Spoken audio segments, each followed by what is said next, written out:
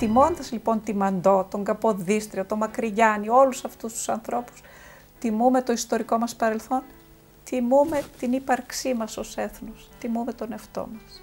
Όμορφη ζωή στην 4Ε, την Κυριακή 12 το μεσημέρι.